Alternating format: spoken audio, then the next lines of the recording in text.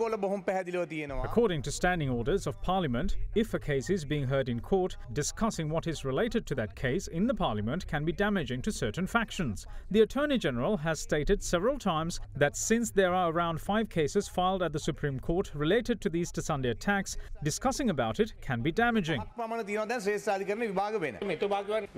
Although he said several cases are filed in the Supreme Court related to the Easter Sunday attacks, there is not even one such case. He is talking talking about fundamental rights petitions and they're not legal cases. There are no cases filed against those who are related to this case.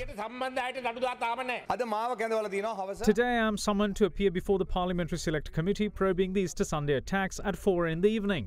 I'm saying this since you're the leader of the House. I will not testify before this committee.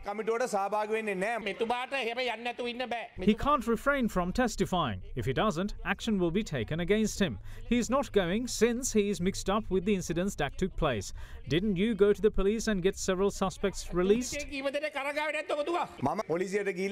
I gave a statement to the police regarding this incident. I didn't release anyone. What I did was stop a huge uproar. He is talking about this because he doesn't know what happened. That incident is not the reason why I'm summoned before the committee.